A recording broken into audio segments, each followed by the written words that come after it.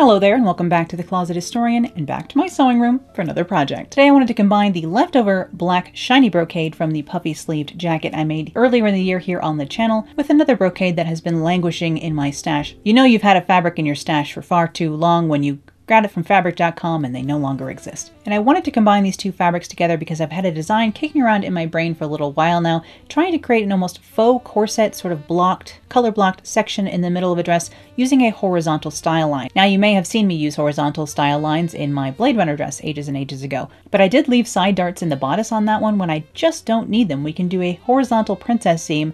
I don't know why I didn't think of how to close up all the dart fullness that first time. Someone actually mentioned it in the comments, and I pinned that comment because, correct, you do not need that dart fullness. I could have eliminated it, and I'll show you how today over on the blue patterning table of doom, as always. I'm starting with some alphanumeric paper and my little sketch here, and of course my bodice block front. I'll go ahead and trace a copy of that, including the dart information, because I will need to move these darts around quite a bit today. I'm going to be eliminating them entirely. Basically, this is a princess seam. Once again, it's just a different princess seam. It's more of a style line. It's a princess seam without a name, just like the one that goes up into the neckline, like my favorite uh, princess seam that I use so often here. I'll go ahead and hinge open both my darts here, just connecting my dart legs all the way up to the apex and slicing down those so that I can hinge these at the apex. I'll go ahead and close the side dart for now, just so I can show you what all this dart fullness looks like down here at the waist. Just smooth this off. So if I had all of my dart fullness down here in one dart at the waist, this is my personal dart fullness, how much I need to make the fit uh, work here on my bodice, make the bodice into the cone shape that I need for my personal shape. I will go ahead and draw a line up into the shoulder and move all this dart fullness up here for now, just so I can have a smooth waist and get all of my dart fullness like away from the bottom half of the garment. So I can draw in the style line I want with a completely smooth waist area. Hopefully you'll see what I mean. I'm going to true a guideline 90 degrees out from the apex uh, to the center front here. I'm going to come up about 5 eighths of an inch from there for my style line today. And I am going to be making a mock-up of this today, just so that I can refine exactly where I want this line to fall on my body so that this looks a little bit like the top line of a uh, like overbust or mid-bust corset in the end. Now once I cut along my intended style line here, I can tape the dart fullness back together along the shoulder and you can see exactly where that dart fullness has gone, except for instead of using it as a dart, we're going to be using it as a style line. So uh, after taking it all away, I've basically put it back where some of it started. Hopefully you can understand what's happening with the dart manipulation here today. Now this top piece is kind of a nasty shape right now. As I'm standing here working on this, I'm thinking, oh, this is going to be interesting to sew together. I hope this works. Part of the reason I decided to go ahead and make a mock-up. I've actually never done this exact style line before, so, you know, whenever I do something completely new to me, I like to try and, uh, you know, avoid mistakes as much as I can when it comes to my final fabric. So I actually did do a little quick mock-up for this today in muslin, and I decided to lower my style lines. So you can see in the green marker that I drew directly on the muslin while I had it on my body, because I want this style line from the apex to come down further along the side seam, so I'll just go ahead and mark that here on my pattern after I have it taped back together, so that I can transfer that onto my pattern from the muslin here. Luckily this means my uh, pattern piece in the top here, the top half of my bodice, is going to be a nicer shape. Comes out being less pointy right at the apex, which is kind of I don't know, just feels nicer because it looked so weird before.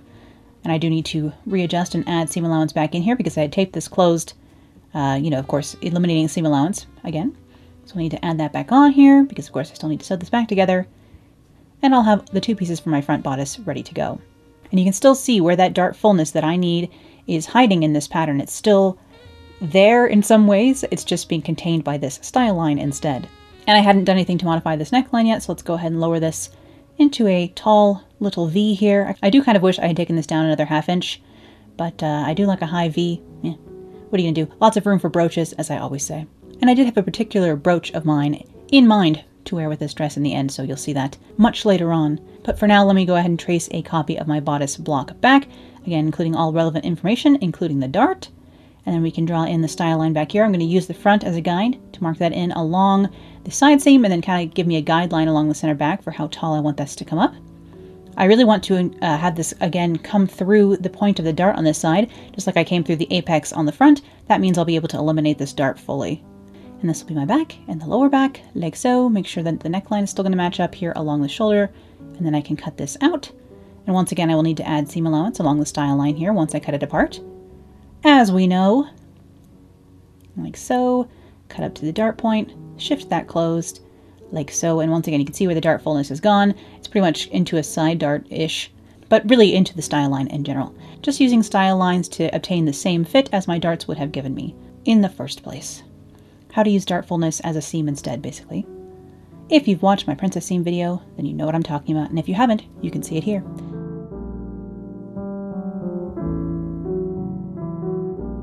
Now I wanted to use a similar tulip sleeve to the one I used in my last dress for my last video here on the channel. So I'm just tracing the top half of my sleeve block here again, and I'm going to come out only about two inches uh, as opposed to I think I did two and a half or three last time. So this will only overlap two inches up here at the shoulder. And I made this sleeve around nine inches long. Once again, I still think I need to bring this up. So that is something I'll have to keep in mind for next time.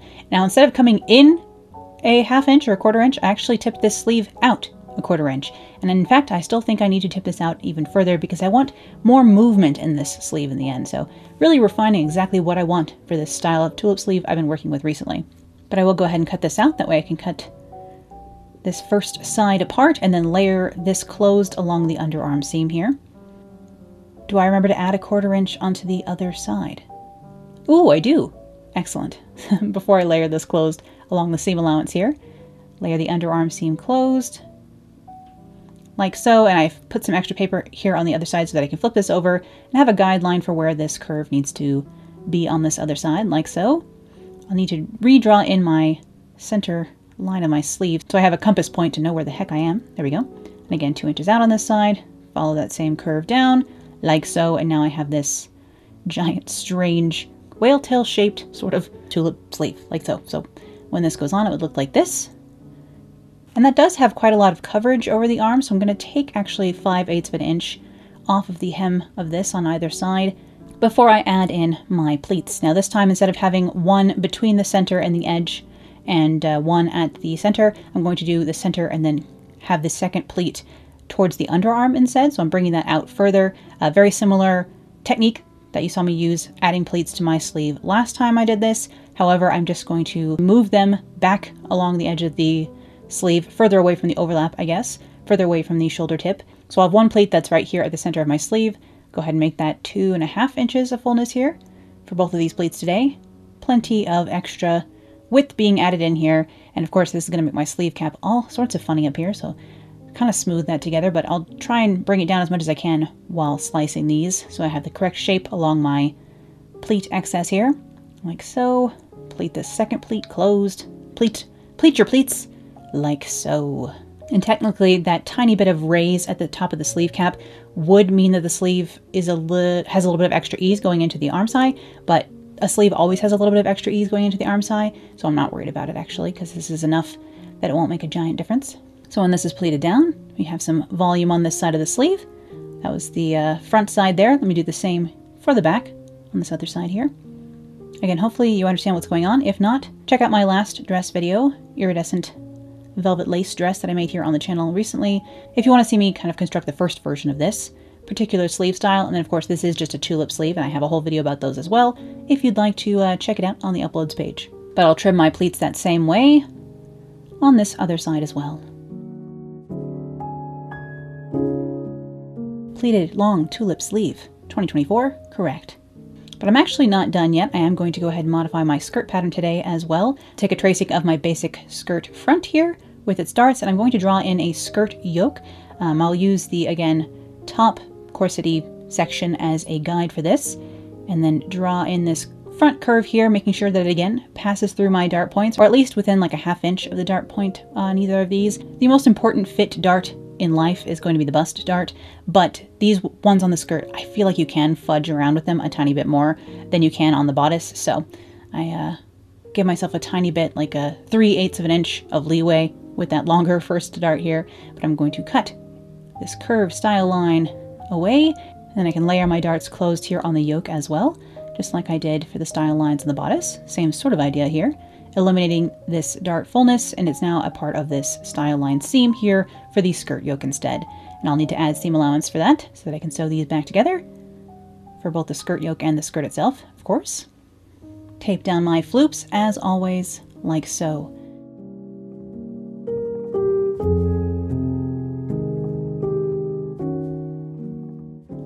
Alright, so now I have my front skirt done. converted into a yoked pencil skirt basically. And I'll do the same here for my back, grabbing my pencil skirt back pattern or my skirt block back pattern. Same thing. A skirt block is basically a pencil skirt. And I, you've seen me use it as such quite often. I'm going to have this curve actually a little bit less here in the back. I'm keeping the width at the side and the center back consistent for my yoke back here, which means while I'll be able to close my darts along the yoke, I will still have a little bit of dart fullness here in my skirt as well, and I will combine that into one dart along the back of this. As opposed to having two absolutely minuscule darts, I'll have one quite small dart. And again, I will need to add seam allowance down here, so I can go ahead and do that while I'm closing up this dart here. So I'm just going to measure what I have left, and I'll eliminate the one that's closer to the center back just by adding that same amount of fullness to either side of the other dart. So uh, I'm taking this quarter inch and adding an eighth of an inch onto either side of the other dart leg over here. That way I can just sew this one tiny dart in the back of each side of my skirt. And we have our seam allowance ready to go here, like so. And close the darts up on this back yoke piece as well. Layer those shut, add seam allowance, and then the skirt pattern will be finished as well. Now I am going to be cutting this out of, yes, black sparkly brocade like I mentioned, and then a different brocade for the kind of corset shaped midsection, both the skirt yokes and the bodice piece below the bust to the waist. That way, kind of again, it looks like a mid-bust corset that I'm wearing over a dress. And you'll see what I mean as we move on. And then I will cut everything out of an acetate lining as well, which you won't be seeing for a very long time. And yes, this sort of cross-hatched, almost mid-century modern gold and champagne and grayish pearly colored and black brocade was actually a fabric.com purchase several years ago. So I'm sorry I can't tell you where you can get any fabric like this. The website where I bought it no longer exists.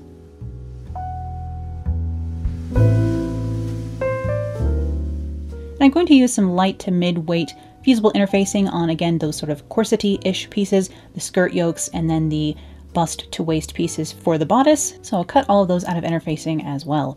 Now I do think this is where I might uh, um, lose a few of you because I think uh, many people would think that this cross-hatched fabric was pretty enough and had enough going on all on its own, but of course I decided to add HTV bees, cicadas, shield beetles, spiders, etc., uh, various entomological touches into this brocade because I can't find brocades that have a bug print.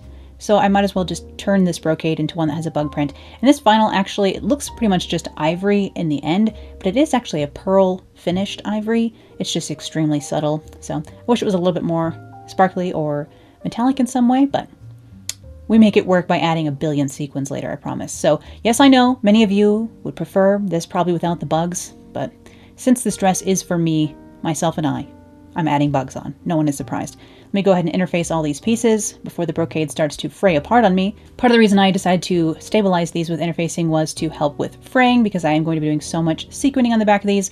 Um, give that a little bit more stability for the embroidery work, if we can call sequining that, um, which I'm going to be doing about halfway through this project, so you'll see that later, but I wanted to give this a little bit more strength. And you'll see I actually run this through the serger as well because look at these raw edges. They already want to fray apart the curse of metallic fabrics sometimes is that they don't always have structural integrity along the edges. Now the only regret I have about this project is that I interfaced these centerpieces, again giving them a little bit more structure, both for please don't fray apart of me reasons, and also because if this was extra hard and smooth, it would kind of add to the corsety look that I was kind of after with this dress design in general. But my only regret is that I didn't interline the black brocade for the rest of the dress, which would have helped the uh, weight of that brocade match up with this one at the waist a little bit better because now this waist brocade is a little bit uh, stiffer than the black brocade I'll be using for the rest of the dress. Eh, it's things I only really learned by completing the project, really. But yes, I cut out a bunch of bugs using my Cameo machine and this HTV and decided where to put them, different sizes of things, little beetles, big spiders, little spiders, a couple of cicadas, just for funsies. You know me, I just can't help myself. That's right. So there's that. And I'm just using the iron, of course, to secure these down. Uh, whenever using a different type of HTV vinyl, make sure to do a test piece first. That's what you saw me doing earlier, uh, making sure that this vinyl would stick to this brocade and seeing, you know, exactly how much heat I need to use, how long I needed to leave them. In the end, I actually hit this from the other side a little bit, just so that these would really stick on here, like so. I could, of course, also have used flock. I think that would have been really pretty with this as well or a different color. I was keeping the kind of color scheme of this brocade consistent for this whole project, so I didn't introduce any new colors in here. Just keeping with the kind of pearl as the lightest shade of the grays and champagnes and light golds that are already a part of this brocade. But I was just sprinkling my bugs on no surprise there. And I did hold the different pieces up to one another so I could make sure to distribute the bugs like evenly or randomly actually, so that I didn't end up with like two cicadas right next to each other or, or like two bees really close to one another um, in awkward ways. So I wanted to make sure that they were evenly sprinkled all about the pieces I intended them for. And I do have my tiny, tiny darts still to sew over here on my skirt pieces. So I'm just marking those with a gel pen so I can stitch those first. And once I have my skirt yoke all decorated with bugs here, I can go ahead and sew the black skirt pieces onto that. The front doesn't have any extra darts, so I can just sew this curve onto the yoke curve here. Of course, both of these pieces were cut with the center front along the fold of the fabric, so they're mirrored like so. And I can go ahead and pin this a couple of times to make sure that my curves are laying nicely with one another for this yoke seam on my skirt.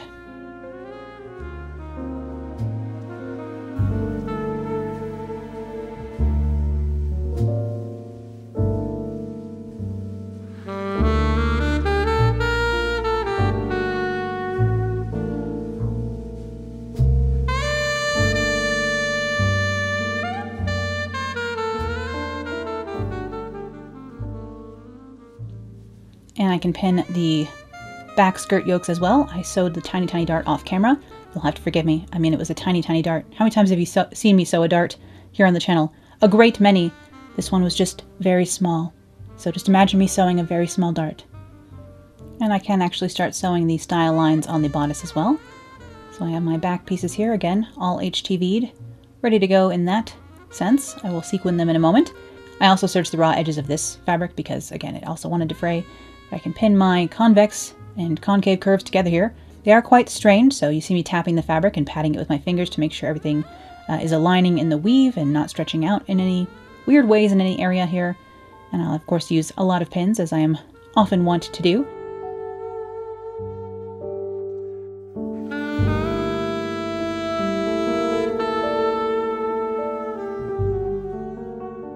I'll put in a new fresh Microtex needle here over on the 99K, just because any brocade with Lurex threads, those highly metallic threads, tends to require a very sharp needle over here on the machine, so that's why you see me pulling my pins out today as well. It's because I do not want to dull this needle at all. I need it as sharp as possible, so new needle and no pins, sadly. Even when I'm using brocade, I usually will like sew over the pins when I'm doing like setting in a sleeve or something, especially because that's usually later in the project and I'm less worried about dulling the needle at that point. But as we know, I have no problem sewing over pins normally, and that is mostly because this iron machine has no problem with pins. If you have a modern machine, it's probably more sensitive to sewing over pins. But we all know that 99 does not care. Sadly, Lurex brocades do. Although I did have an idea this morning for a new dress I want to make out of cotton sateen with HTV vinyl, and I really hope I have time to make that this weekend. I really don't, my schedule's pretty packed, but we'll see because I'm very excited about this idea that just came to mind.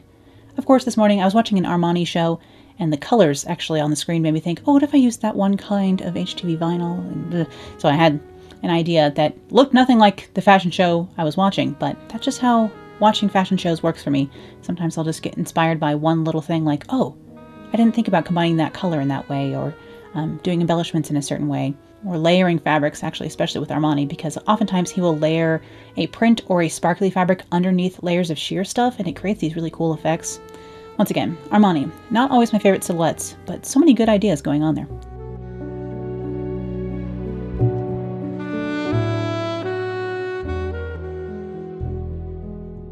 But with all those many curved seams sewn, I can now, of course, clip those curves. It's me, after all.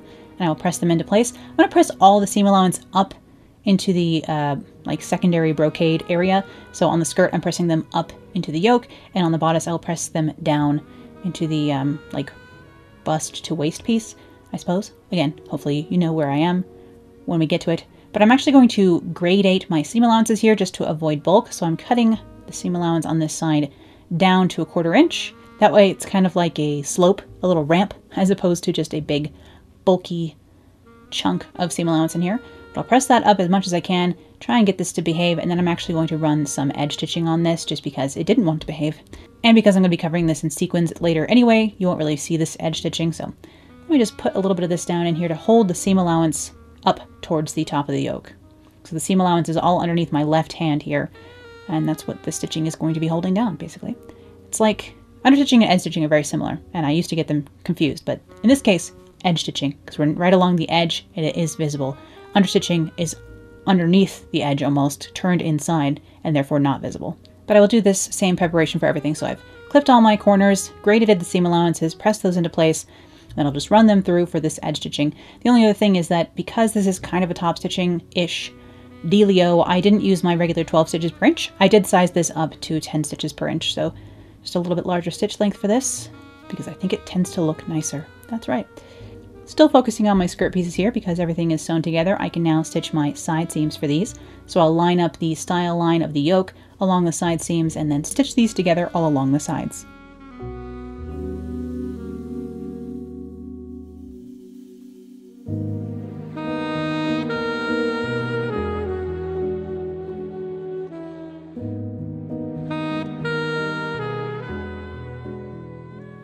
Again, just using black Gutermann all-purpose thread, which yes, I do go through a lot of that in my sewing room.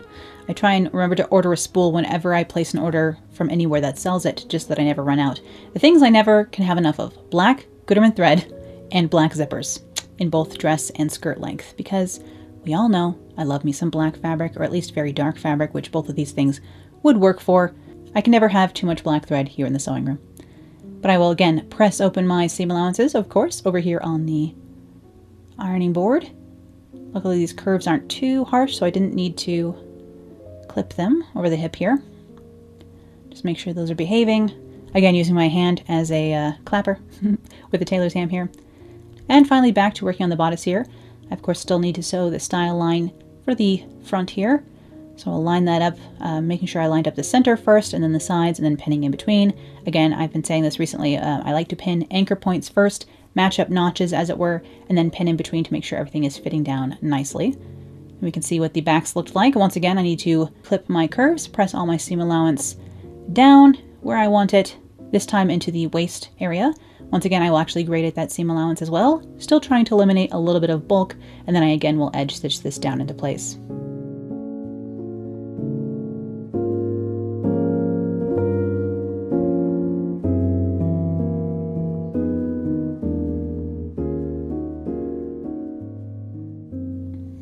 So I will sew that front style line here, the horizontal princess seam, for lack of a better term, because that's that's what's happening structurally. And I think sometimes, because style lines can be structural or just for style reasons, so I almost like to call any style line that is controlling the fit a princess seam to differentiate it from just a style line that is only there for a like a visual reason as opposed to a functional reason. This is a functional uh, fit-inducing style line here, so that's why I like to call them princess seams, even if that would not be like the traditional name for them. I would just like to maintain some consistency for what I call things, whether it's correct or not, honestly. And I will clip, press, and edge stitch this front seam as well.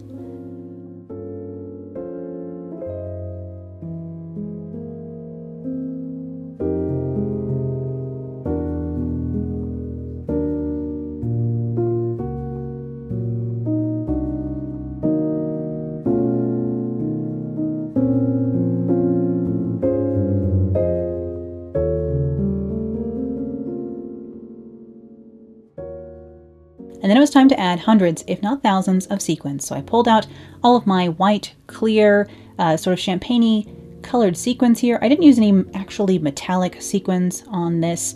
Mostly I went for flat black and white sequins and then a color of sequin that's called Moon Glow, which is basically a clear plastic sequin with a almost shiny kind of moon glow reflective finish on it. So I can link Moon Glow sequins below. They're available from my favorite Cartwright sequins, of course. Not sponsored, but we all know that I um, use a lot of their stuff because I just love a sequin, and I love a flat sequin like this as well.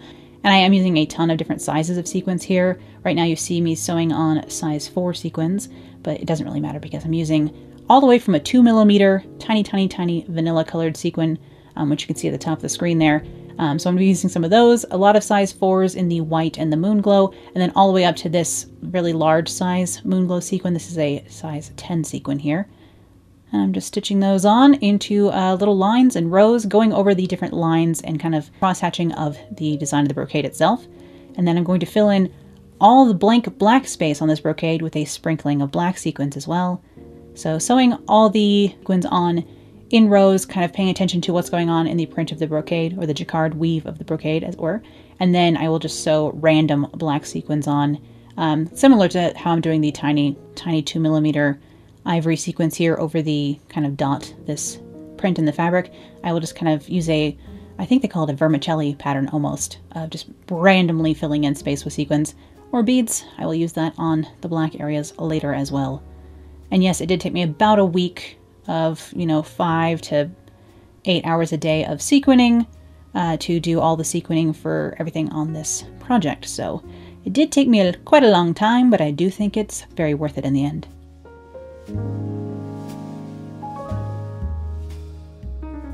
And if you look very closely here, you can see that I did not sequin the area that will become seam allowance. So I just, uh, when you're working with sequin fabrics, usually take the sequins and beads off of the area where the seam allowance will be. Um, in this case, because I was adding the sequins myself, I just left those areas blank. So I just didn't sequin all the way up to like the side seam, for example. So I could leave that area blank and wouldn't have to sew over sequins over here. But yes, I've lined up my shoulder seams and side seams for the bodice and I can finally stitch those together after all of that sequining work, which I normally do at the very end of my project, but this time I decided to go go ahead and do it in the middle so that I could really sit down with each piece and completely coat those cross-hatched areas in sequins.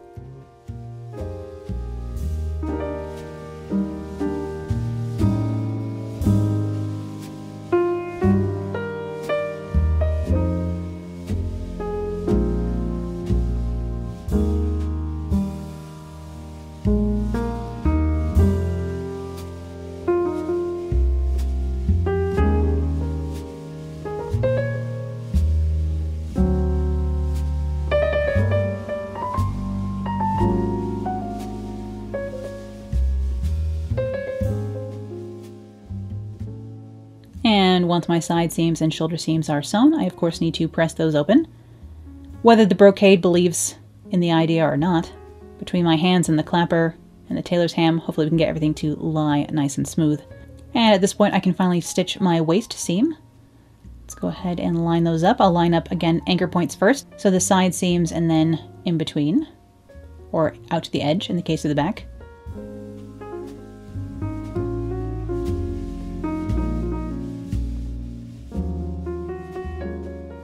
And then I can stitch that again back over here on the machine. Still have my half inch seam allowance going on. Still trying to remember to remove my pins. We'll see how it goes.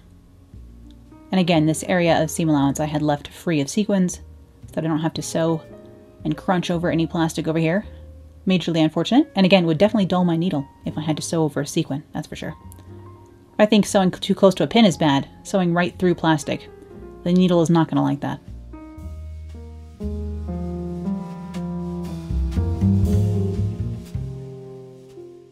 And again, of course, I need to press open that seam allowance, so I'll go ahead and do that, using my hands as a clapper for sure this time. The thing about a clapper is it's a solid piece of wood uh, that is not curved, whereas my hands can mold to whatever shape I need them to, you know?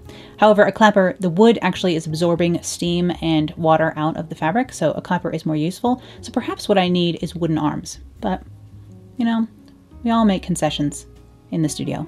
And once again, just like my last project, we have most of the dress together, and yet I have not begun the sleeves. So let me grab those. And I did actually line these sleeves in black lining, as you can see here, whereas the rest of the dress will be lined in a sort of champagne taupey gray acetate, just because of what I had in stock here in the stash. I uh, find it actually harder to find good lining fabric that I like compared to other things. Um, this black lining fabric here, I really liked it. It's a nice twill Cupro, uh, or Cupro lining from mood, but they of course are out of stock of it now, so I can't get any more, which is a bummer because it was a almost a medium weight and much easier to use than a lot of other slippery, silky linings I've uh, come across in my time. So I'm sad that there is no more of it. I should have bought 12 yards when I had the chance, you know. But that kind of thing is an investment. But it's an investment in my and therefore the channel's future, right? So if I find great lining, I should buy more of it. Is the lesson that I will have to take away for next time. But just like how I finished the sleeves in the iridescent lace dress I made recently, I finished the hem of my sleeves that last time with a uh, lining of silk organza so I could maintain the transparency. This time I'm using this black lining. So I just sewed the curved hems together. I need to clip those and of course press those into place. I will actually then throw some understitching in here again as well to hold this lining folded to the inside. So I'm doing that here, using my presser foot as a guide to stitch about well, a little over one eighth of an inch perhaps away from the original stitching line. Again, the seam allowance is underneath my left hand here, underneath the fabric. So all the seam allowance is being stitched down to the lining side for my understitching here. It's harder to see what's going on if I do it from this direction, but it comes out smoother if I do it from the top like this. So apologies that you can't exactly see the seam allowance down there, but you'll have to believe me, it's there.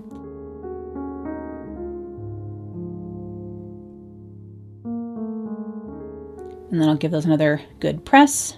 Then I need to line up the tops again, trim any excess that has occurred, and then baste uh, the top edge of this just into place. I did that by machine, but you could do it by hand as well just so that my pleats are all lined up in both the lining and outer layer. And then I will grab my pattern piece and mark where I need to pleat this down from the initial patterning stages of it all. I will mark the under arm seam or where it would have been here as well because I need to line that up with the side seam of my bodice in the dress itself once I go to set these in the dress. But put a pin up here where each pleat needs to come together and then I will pinch these pleats, again, the fullness of the pleat is sticking out towards the middle of my arm, and therefore the pleat opens up towards the underarm. Uh, I think this is how the Erdem sleeves that originally inspired me to try this sort of sleeve style. I think this is how they're doing theirs. Of course, I haven't been able to inspect a dress in person. Perhaps I should just go on a field trip down to the, the fancy mall in Denver and walk around Neiman's or Saks or whatever they have down here down there and inspect the clothes. I doubt they have Erdem, but I would like it if they did. And then I can go ahead and set my sleeves in. Once again, I need to pin the side that will be on the outside of the tulip first. So that's what I'm doing here. Pinning the front from the underarm to the sleeve cap and in between. And then I will pin the other side because it needs to underlap up by the shoulder seam, just for that layered sleeve effect that the tulip sleeves have. And yes, again, I do think I need to make these sleeves a good inch, inch and a half shorter on the next round. So I, I like these sleeves. I think they have a lot of potential. I just haven't decided my exact perfectly preferred proportions for them yet, so I'll get there. But just layering that backside underneath the front, it overlaps just a little bit up here by the shoulder. And I think actually I will make it overlap a little bit less next time as well. Just experimenting with tulip sleeves and seeing how far I can exaggerate them in different directions um, and play with the style a little bit here in the studio lately.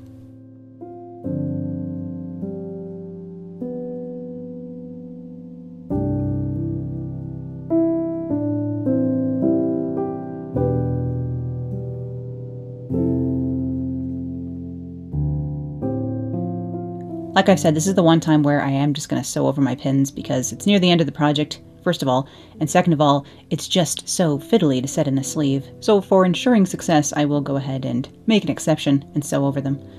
And now it is time for me to set my zipper into the back of this dress. So I'm going to see how far that zipper tape comes down the back, and then I will pin the skirt together from there down nearer the hem. Of course, I will leave about 8 inches free at the hem so that I can have a slit back there to facilitate walking. Uh, my pencil skirt isn't too narrowed in this at all, um, so it's more of a straight skirt, so I, I could probably still walk slowly, even if I didn't do a slip back here. But just in case I ever need to, like, grab a cab, you know, or something in my imaginary city life that I do not have, um, you know, it's good to have a slip back here. And my seam allowance down my center back is, of course, one inch as usual. So I'm going to go ahead and use my hem gauge to make sure that the rest of this is pressed back that same inch again along the um, corsety bits. Center section here, I didn't sequin this last inch and a half or so, so that I could do this easily without having sequins in the way or melting them on accident, anything like that while ironing. Do be careful with sequins because they are just plastic and your iron gets very hot. And you do gotta be careful. But yes, just using my hem gauge to make sure I press back the seam allowance for both edges of the back before I try and set this onto a zipper. Uh, kind of set the zipper in and set the dress on. I will be sewing the first side of the lapped zipper I'll be doing down the back of this with the machine and then I will actually hand stitch down the other side. And I did go ahead and decide to interface a lot of the seam allowance along the back here too, just for extra stability along the zipper tape where that's going to be sewn down. Again, if I have one regret about this dress, it's that I didn't interline the black brocade portions, uh, but you know, c'est la vie. Uh, what are you going to do once it's this done? I could take the whole darn thing apart. That's not going to happen ever. I, I really couldn't take the whole darn thing apart. It's just the kind of thing that you learn as a lesson for next time. This brocade is just a little bit looser weave that I'm used to, and therefore a little bit wiggly and needed probably an extra layer of stability. Although this dress would be even more, I don't know, substantial and kind of wintry, very warm, if I were to have added in a whole other layer like that. But yes, I will go ahead and pin the first side, the right hand side of my dress opening back here now that everything is right side out along the zipper on my zipper tape. And I will actually stitch this down again on the machine. And then the other side, the overlapped side of my lapped zipper, I will actually hand stitch. So something that again I will not show you. I've shown that technique in my zipper video, so you can check that out in this video if you want to know what I'm doing. It's much easier to see in that example than it would be in a sparkly fabric like this one. So I rely on referring you to past me who is showing you an example of how to do that as opposed to walking you through me doing it while working with weird sequin textured brocade fabric because no one's going to see those stitches. But yes, on the machine I have my zipper foot so I can do this first side, stitching right through the folded edge of my dress, down into the nylon zipper tape as it were. And no, I never use invisible zippers. Uh, I mean, obviously the look, once they're properly inserted, is very nice. However, I have found in my experience that invisible zippers break more easily than a traditional zipper, and to have to rip an invisible zipper out and replace it with something, no, so I would rather just use a regular zipper because I feel they're a lot more reliable and less likely to break over time.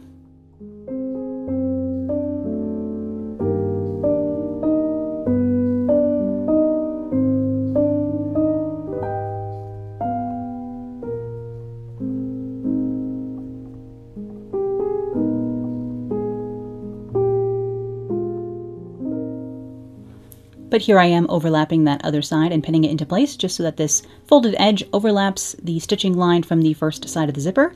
Again, we're not overlapping a lot here. We're not losing any sizing in the dress itself. It's, you know, less than an eighth of an inch of overlap here. And then I will backstitch this side down to the zipper tape underneath so that it is nice and secure against my zipper.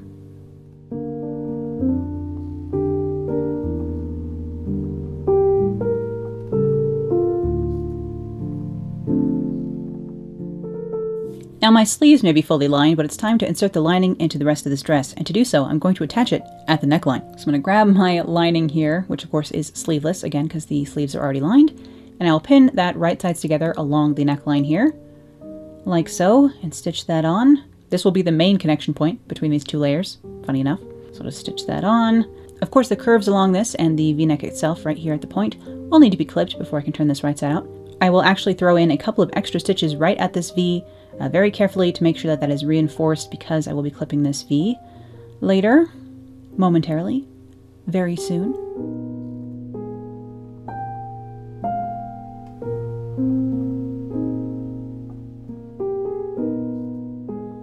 Like so. And then a couple of clips back here where it's curvy. And then I can turn this right side out, give it a press, and then I will actually do again some understitching to make sure that this lining stays on the inside because although it's a coordinating sort of taupey beige silvery color that works with the brocade. I don't want this to be seen up here along the black brocade of the neckline. So I will press this a little bit, but then I will take it back over to the machine and throw in some understitching. The only problem with this lining is that it is so very thin. Uh, acetate linings are crispier than rayon, uh, so that makes them actually a little bit easier to work with, but this one is very thin, and like any sort of wiggle or pull will show in this sort of thing. So it's lucky it's the lining and on the inside, you know? So no one needs to know if it's not absolutely smooth and perfect.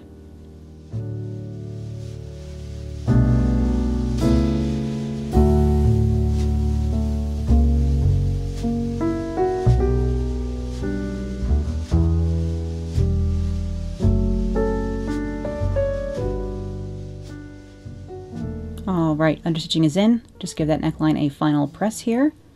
Make sure everything is staying nice and finished, like so. And I'll turn everything inside out, being careful because of all those sequins. I've kind of finger pressed this lining already so that it has a bit of a uh, seam allowance indication here. And I will pin that along the zipper tape on the inside here so that I can hand stitch this, hand slip stitch this into place along the zipper tape so that everything inside is nice and smooth and hidden behind the lining. Because what's the point of a lining if it doesn't hide all of the uh, sewing sins here? So let's pin that along the zipper tape and then along the seam allowance down to the bottom of the slit. I'll leave the last few inches free down there and I'll show you why later when it comes to hemming this. But I'll do the same for the other side and then again I will sit and hand stitch this down into place. And once that is finished it will look like this and like I said every tiny little uh, wiggle or pucker in that uh, acetate lining will show along that back seam but uh, the functionality is what's important not the perfection of the satiny lining here. I will go ahead and clip the curves around the armscye of my lining because I'm because I need to fold this in on itself so I can finish the armscye between the two different types of lining here. So just because of how I set the sleeves in and the fact that the sleeves kind of have pleats at the top meant that I couldn't do the lining of the sleeve as part of the lining of the dress. Hopefully you understand what I mean. If you've lined in, if you've lined a few dresses in your time, then you probably do. Um, but this means I'm going to have to turn the inside of this along and then I will again hand stitch this into place so that there's no raw edges around my armscye anymore. Um, so I'm just turning that in on itself like so and then I will slip stitch this down by hand.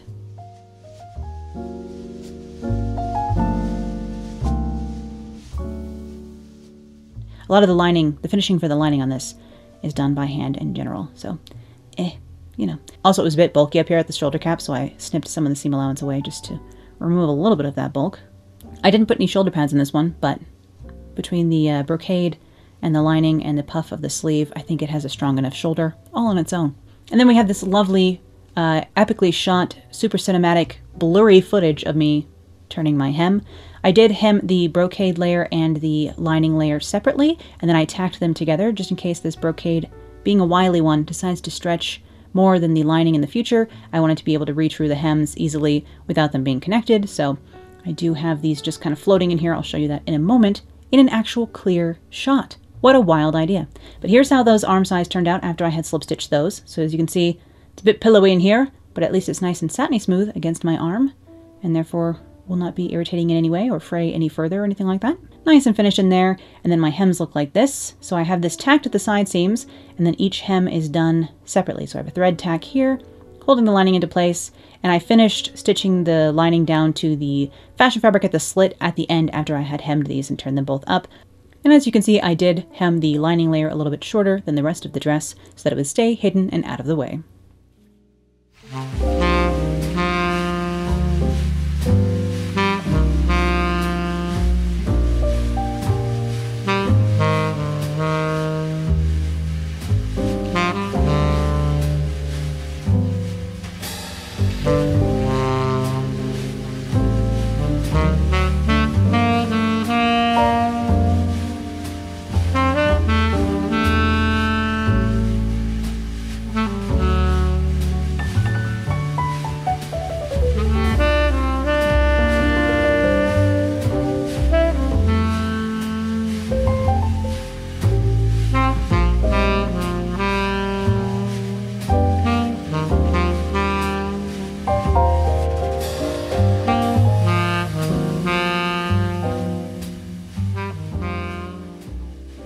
And after a full week of sewing on sequins, here is my finished dress. I'm super pleased with how this came out. It is very, very sparkly. Even the brocade is quite shiny and sparkly, let alone the entire sequined midsection.